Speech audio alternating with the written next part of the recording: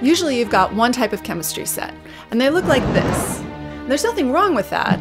Full disclosure, my nine year old got this one for Christmas last year and she was thrilled. But let's be honest here, it's the same elephant toothpaste and slime experiments that you see that's geared towards a younger kid side of the spectrum. Your middle schooler isn't going to be as interested, and your high schooler hasn't been interested in anything you've suggested. And okay, all right, so let's not make this about me. Chemistry sets used to be this real exploration of science. You could become your own mad scientist by mixing all different kinds of I'm sorry, does that does that say uranium? That's right, kids. In your chemistry set circa 1950, your kit contains cyanide, uranium, and if your parents really wanted to buy your love, a blowtorch. What says Christmas more than that? There's got to be a balance here, something that is educational but also explorative, something that's like beyond just making your own slime kit, but also something that isn't going to make my kid radioactive. Girls got a dream, right? So I opted for this massive thing because how else am I going to get my teen to talk to me? Just let it go, man. Let it go. Okay, so I just finished getting ready for church. That's why I look like this. this was like really hard to get out of the box. It's just kind of cumbersome. We have used this now for a couple of months. I tried to put them in the, the way it came in the packaging, but some of them are used. So for instance, or the little alcohol burner.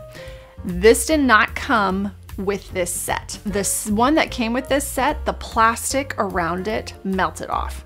And it just didn't seem very safe to keep lighting it when the plastic was melting. So I got a new one. I'll link that one in the description box below. I like this one a lot better. So the alcohol burner that it came with was kind of difficult to use for consistent use. We opted to buy a new one completely. This one has a screwable top lid and it's easier to refill honestly, that's why I got it. So that's a little disappointing, but this burner is absolutely worth it and was relatively cheap for the price. It comes with a bunch of glass tubes. It comes with some of these little cable things. It also comes with a set of chemicals. And then you have a whole second level of stuff. So you've got a bunch of test tubes, some glass test tubes. Everything in this set, with a few exceptions, was very well made. The ceramic bowl, the glass tubes, the metal rods. I was very impressed by the high level of quality.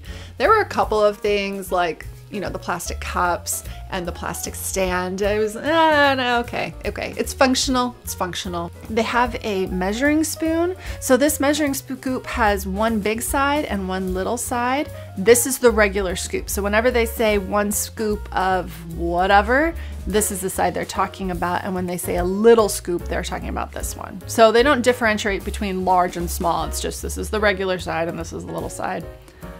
Thought I'd add that in there. It has these beads, so these get lost. I'm pretty sure we had three or four of these. Um, these are to help with boiling water and just like maintaining temperatures. And we've already lost two of them. So I put these in like a Ziploc bag and just keep track of them because these will be gone. The real concern I have with this is keeping track of all of the items. The styrofoam packaging is not particularly easy to get in and out of the box, and so we end up leaving it out. Not my favorite thing. And I would really like it if it had like an actual case. I mean, look at these old chemistry sets from way back when. They had like a real, some of them were metal, some of them were wood, and it was a real set, like that you could close up or reopen. And this one does not have that. It's just open. I mean, if you lose some pieces, they have a form that you can request additional pieces or whatever. Uh, so that's nice. If you guys have any suggestions as to how I should keep track of all these things, I'm totally open to it. Comment below. There's probably something I could do with the box, but I don't really want to destroy the box. But why am I holding onto the box? Maybe I should just, maybe I should like cut the box so it like slides on top of it. So this is the book and this is what the book looks like. I love this and I reference this all the time just to keep track of all of the things that we're supposed to have because otherwise we would just lose all the pieces. As a list of things that you need in addition to this. Let's see if I can find it. Finding the additional chemicals felt rather difficult. The science company Thames and Kosmos used to sell them, and now they say just go to your local hardware store. And my local hardware store was no help. They kind of just looked at me like deer in the headlights. I did eventually find them on Amazon, and I'll be sure to link those down below. Due to the nature of the chemicals, they couldn't necessarily package them all together. I'm sure there's like, there's probably laws about what you are what chemicals you're allowed to include in one package to sell commercially. Like I'm sure that this is pretty highly regulated. Maybe not, I have no idea. So this is kind of like a textbook. Calling it a manual is a bit of a misnomer to me. I would refer to this as a textbook. The amount of additional information that it has alongside of the experiments is phenomenal. Comparatively to other chemistry sets that I have bought over the years, this one has the most information about what you're experiencing, especially background information to give you, you know, conceptual understanding of what's going on. I mean, this thing has over 300 experiments. For such an exhaustive list, the quality quality I was really impressed with. Some of these chemicals do require you to uh, take care of them in a certain way. You can't just dump them down the sink. And so we have actually folded it over in a back in the back. It's a page of how to dispose the waste and it will list it out in the actual experiment saying refer to A2, refer to A1, refer to let's see what how many the A12 and that will guide you as to how to dispose of it. It does a great job on explaining how to properly dispose of chemicals after you're done with the experiment. This is really important and I love that it empowers the kids and gives them the responsibility of if you are going to do this experiment, then this is how you properly dispose of it later. I mean, that's that's a great life skill of teaching responsibility, especially when handling something that is potentially dangerous. When I was looking for a chemistry set last Christmas, I read a ton of reviews, and some of these are like absolutely hilarious. I don't know if anybody else feels this way, but I love reading reviews for the stories that is associated with them. There is something very satisfying and just the human experience. Excellent. Best set I have seen for teaching and learning real chemistry. My opinion was formerly due to a variety of chemicals and Bunsen burner. Sadly, not seen much in more sets. That is true. It is hard to find a chemistry set that comes with some kind of heating element. I'm not quite sure what the reason for that is, except I know that there was a period of time where people were like super sensitive about chemistry sets. I mean, rightly so. We should be Save the children, all about that. But exact concentrations, this is a this is an essay. An essay on how great this chemistry set is.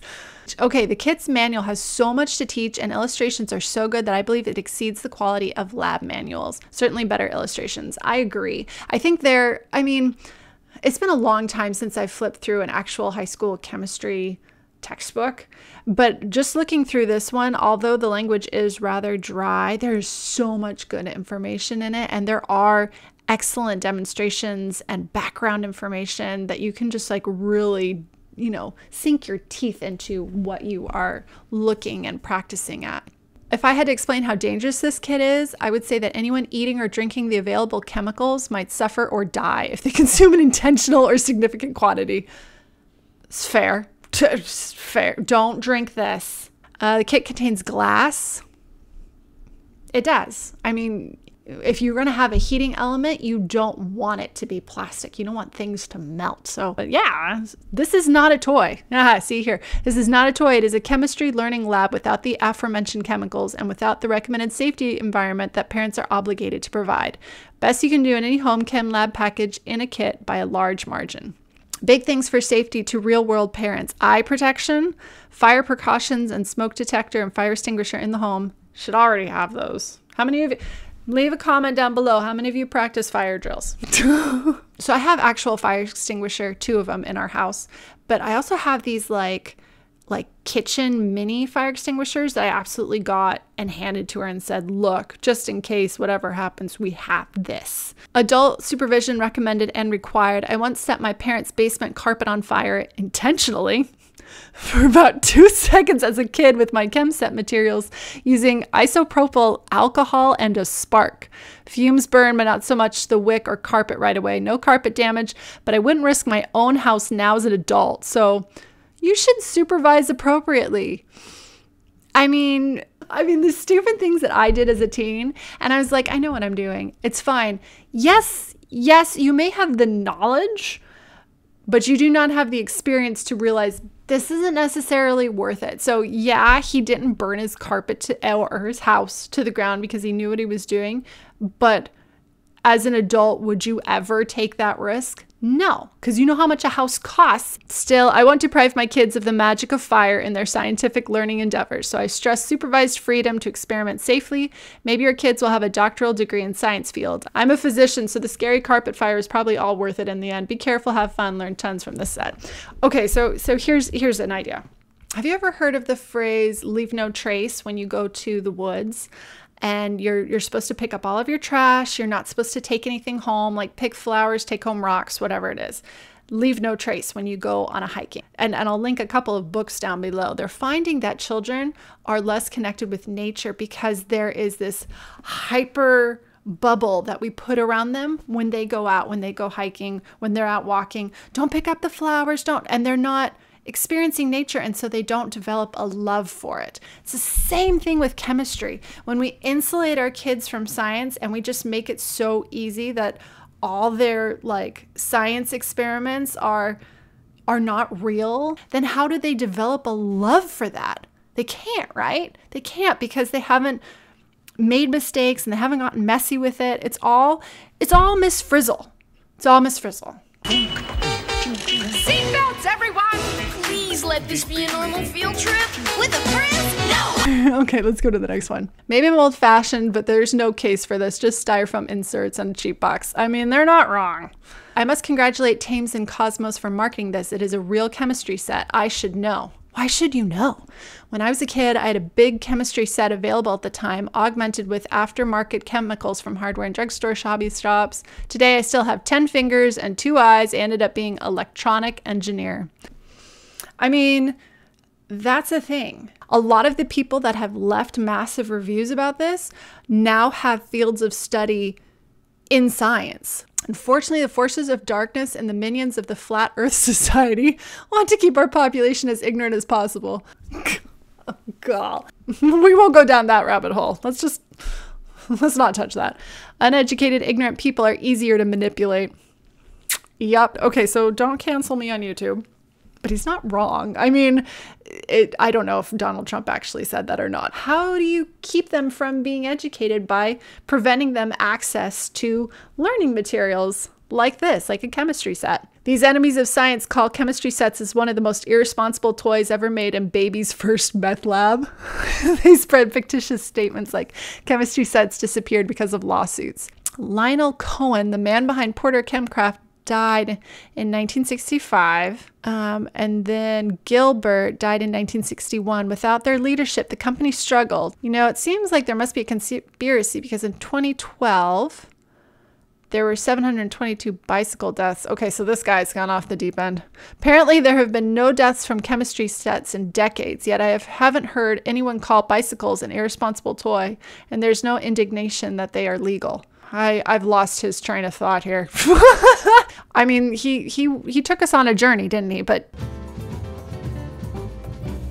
so I did a bit of digging about why everybody felt like there was a decline in chemistry sets. The 1960s was a boom of chemistry sets geared towards children, and the Smithsonian had a display on old 1950 sets that boasted a uranium core, and the Gilbert U-238 Atomic Energy Lab came with radioactive sources that emitted alpha, beta, and gamma radiation.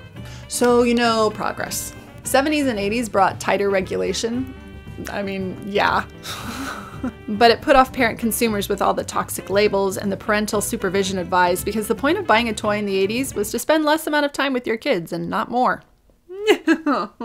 Regardless, Thames and Kosmos has some amazing chemistry sets, and I've linked them down in the description box below. If you do use that link, it really helps my channel out, so thank you very much, and I hope you guys have a fantastic week.